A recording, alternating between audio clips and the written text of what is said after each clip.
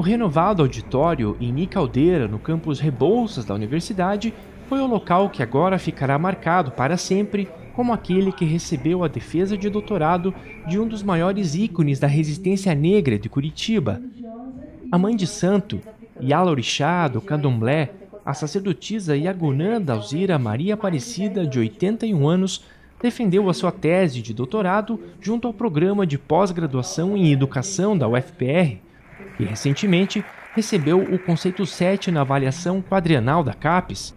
E foi só a IA, como é carinhosamente conhecida, chegar para a banca de defesa que o auditório ficou tomado de admiradores, amigos e tantas filhas e filhos que receberam da mãe Yagunã o seu registro de nascimento junto aos orixás no conhecido terreiro no bairro Alto que a Yada Alzira leva há mais de 30 anos em Curitiba. Em causa estava a defesa de doutorado intitulada Professoras Negras, Gênero, Raça, Religiões de Matriz Africana e Neopentecostais na Educação Pública,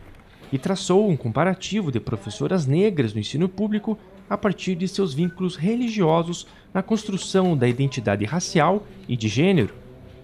O trabalho teve a orientação do professor Paulo Vinícius Batista da Silva, que também é responsável pela CIPAD, a Superintendência de Inclusão, Políticas Afirmativas e Diversidade, que abriga o Núcleo de Estudos Afro-Brasileiros da UFPR, UNEAB, e à medida que o tempo passava, a alegria nos rostos de muitos só confirmava o que estava por vir.